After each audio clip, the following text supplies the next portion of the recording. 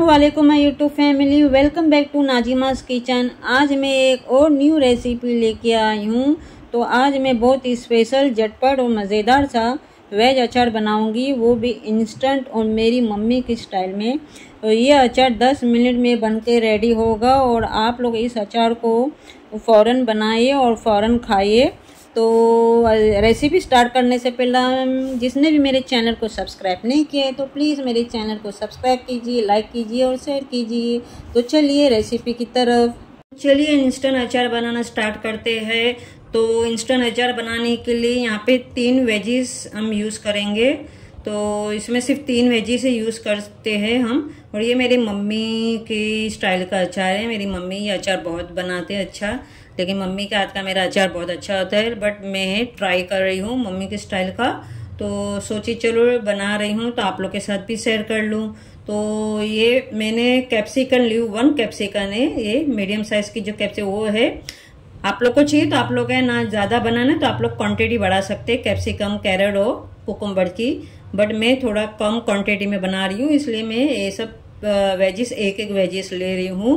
तो यहाँ पर मैंने कैप्सिकम जो है, ये एक उसको मैंने कट करा दी, इसका जो बीज है वो निकाल दी थी और यहाँ का जो व्हाइट पार्ट होता है ना, इसे भी मैंने क्लीन कर दी थी और इसे अच्छी तरह से मैंने वॉश करके इसको क्लीन कर ली। पानी नहीं होना चाहिए अचार में, एकदम ड्राई होना चाहिए, क्योंकि पानी होएगा तो अचार खराब हो जाएगा। इसलिए हमें धो के पहला, सबसे पहला धोना है धोके से अच्छी तरह से पोच करके फिर हमें इसे कट करना है।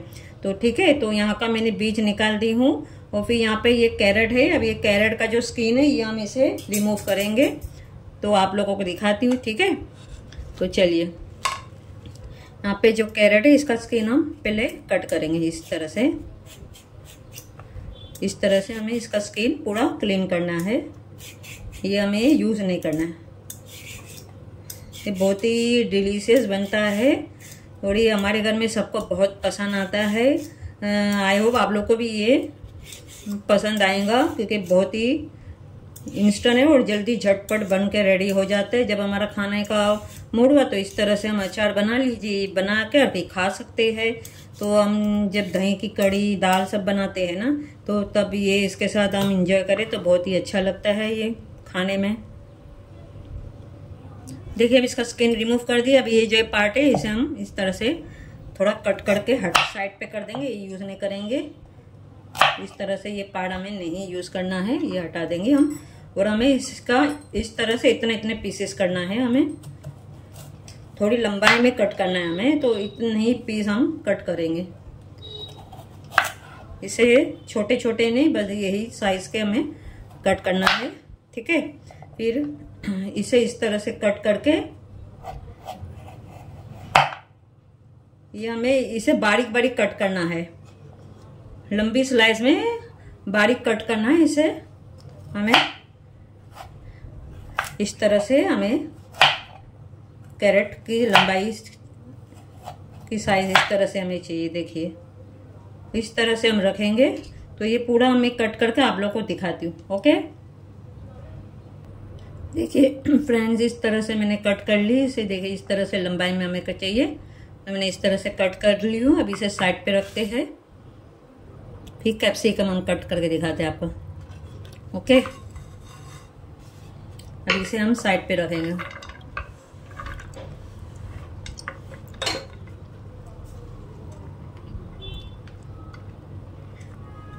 चलिए अभी हम कैप्सिकम कट करते हैं। अभी कैप्सिकम को भी हमें इस जो कैरेट की लंबाई में कट किया ना, इस तरह से हमें कट करना है। इस तरह से हमें कट लगाना है लंबाई में। आप लोग को चाहिए तो आप लोग दो इस पार्ट में इस तरह से कट कर ले सकते हो, देखो। इस तरह से। अगर आप लोग को इतनी लंबाई नहीं चाहिए तो इस तरह से दो पीस करके इस तरह से ऐसे भी कट कर सकते हो आप लोग। आप लोगों को लगता है बहुत ही लंबा है तो आप लोग इस तरह से भी कट कर सकते हो। देखिए।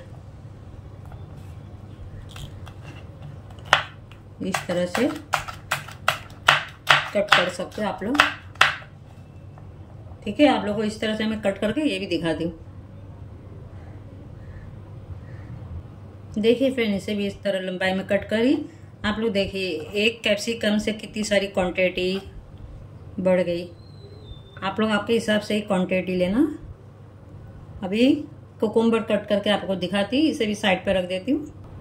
चलिए अभी कुकुम्बर कट करते हैं। इसका जो साइड का जो पार्ट है ना इसे हम कट करेंगे। इस तरह से कट करेंगे और इसे साइड पे रखेंगे, ये चाहिए हमें।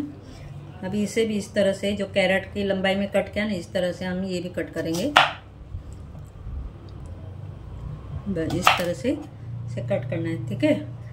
अभी हम ये पार्ट को भी कट करेंगे और बीच का भी कट करेंगे। देखिए फ्रेंड्स ये पार्ट को हम कट कर लेंगे। ये पार्ट हमें यूज़ नहीं करना है।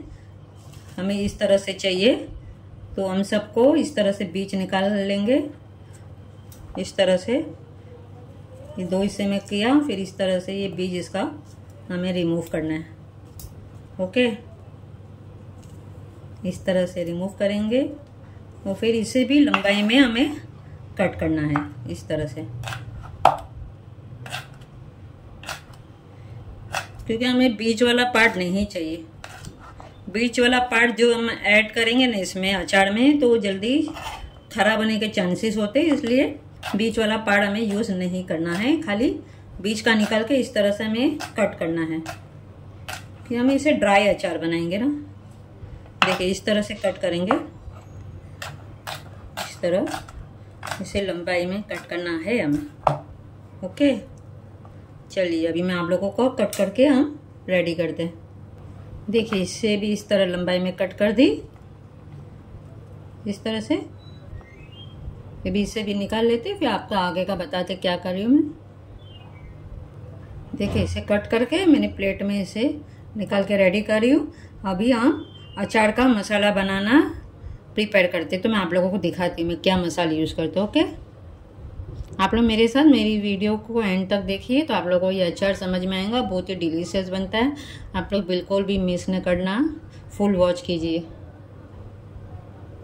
चलिए फ्रेंड अचार का मसाला बनाने के लिए सबसे पहले हम ये हखा धनिया है, ये हम लेंगे। ये चार टेबलस्पून है। ये मैं इसमें, इसे हमें रोस्ट करना है। ओके अब इसे हमें मीडियम फ्लेम पे इसे रोस्ट करेंगे हम। फास्ट नहीं करेंगे। अगर जल जाएगा तो ये अचार पूरा कड़वा हो जाएगा, इसलिए इसे मीडियम लो फ्लेम पे ही हमें इसे रोस्ट करना है। फिर ये रोस्ट करके हम इसे ठंडा होने देंगे, फिर इसे दर दरा ग्राइंड करेंगे हम। ओके? तो आप लोग देखिए, मैं किस तरह से कर रही हूँ। देखिए फ्रेंड, इतना ही हमें रोस्ट चाहिए। गैस का फ्लेम ऑफ़ कर देते अभी इसे हम ठंडा होने देते, फिर इसे ग्राइंड करेंगे हम। चलिए, वो ठंडा हो रहा है, जब तक हम ऑयल को भी गर्म करने रख देते हैं साइड पे, क्योंकि जब तक मसाला प्रिपेयर करेंगे तो ऑयल भी अच्छा गर्म हो जाएगा, क्योंकि हमें ऑयल गर्म करके इसमें अचार में ऐड करना है। तो ऑयल को मैं गर्म करने रेडी कर देती हूँ। ठीक है?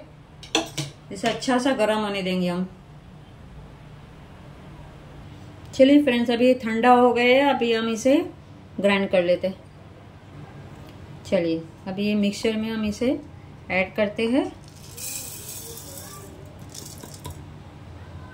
अभी इसे दरदरा पीसेंगे, एकदम पाउडर नहीं बनाएँगे, ठीक है? चलिए फ्रेंड देखिए। इस तरह से हमें चाहिए इसका पाउडर चलिए फ्रेंड्स अभी अचार बनाना स्टार्ट करते हैं। ये जो वेजीज है, ये सब तीनों वेजीज को इसमें ऐड करेंगे बाउल में। बाउल में ही। आप प्लास्टिक में नहीं ऐड करना, क्योंकि हम गरम ऑयल ऐड डालेंगे ना इसमें तो प्लास्टिक का जो बाउल है वो कहाँ जल ना जाए, इसलिए ऐसे ही कांच का बाउल ही लेना आप लोग और इसमें ऐड करना, ओके? क्योंकि हमें इसमें गरम ऑयल ऐड करना है और इसे अच्छे से मिक्स कर लीजिए। सब वेजिस को इस तरह से। अभी इसमें हम सॉल्ट ऐड करेंगे। सॉल्ट आप आपके टेस्ट के हिसाब से लेना। हाफ़ टी स्पून हल्दी,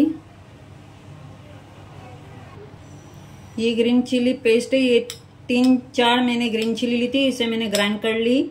आप लोग पास पेस्ट हो ग्रीन चिली का तो आप लोग को ऐड कर लेना। मैंने ग्रीन चिली को पीस कर इसमें ग्राइंड करी हूँ। और इसमें ऐड करेंगे ये वन टेबल स्पून है ये ग्रीन चिली। अभी हमने जो धनिया प्रिपेयर किया ना, रोस्ट करके ये हम डालेंगे। One two three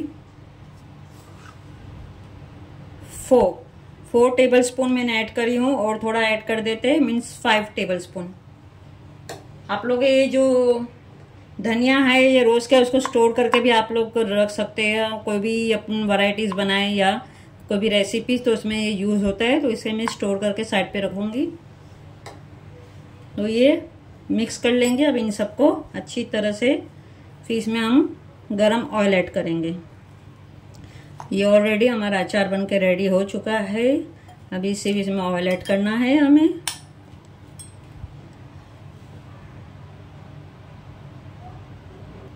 अभी इसमें ऑयल ऐड करेंगे।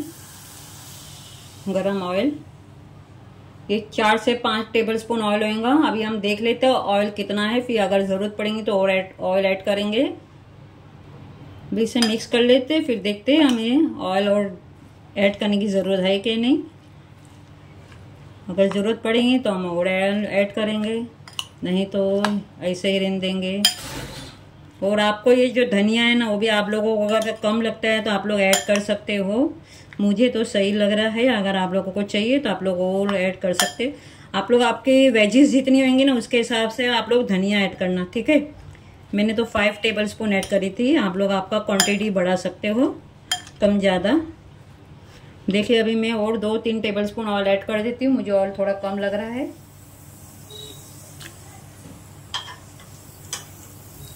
दो, तीन। बस। देखिए। हमें बस इतना ही चाहिए। अभी हमारा ये अचार इंस्टेंट अचार बन के रेडी हो चुका है। आप लोग इसे दाल कड़ी जब खाए तो इसके साथ इंजॉय करें। बहुत ही मज़ा आता है। आप लोग भी बनाइए और इन्जॉय कीजिए। बहुत यम्मी यम्मी बनता है ये। देखिए बस, ज़्यादा ऑयल अभी ऐड नहीं करेंगे, इसमें ऑयल बहुत है। आप लोग देखिए इधर। कितना ऑयल है ना इस तरह यहाँ पे? बस अभी और ऑयल ऐड नहीं करेंगे हम, इतना ही बहुत हो गया ऑयल मैंने यहाँ पर five five seven two six tablespoon मैंने इसमें ऑयल ऐड करी हूँ. ओके आप लोग भी देख लेना आपके हिसाब से. ओके हमारा अचार बन के रेडी हो चुका है. अभी इसकी प्लेटिंग करते हैं, आपको दिखाते हैं. चलिए फ़ैन से प्यारे से डिश में आप लोग को इसकी प्लेटिंग करके दिखाते हैं. देखिए, कितना ज़बरदस्त बना है और एकदम डिलीशियस है। मैं तो अभी खाने बैठ जाओ इतना यमी यमी है। आप लोग बिल, आप लोग ज़रूर ट्राई कीजिएगा, बहुत ही डिलीशियस बनता है। और आप लोग है ना, इसे चार से पाँच दिन तक स्टोर करके भी रख सकते हो।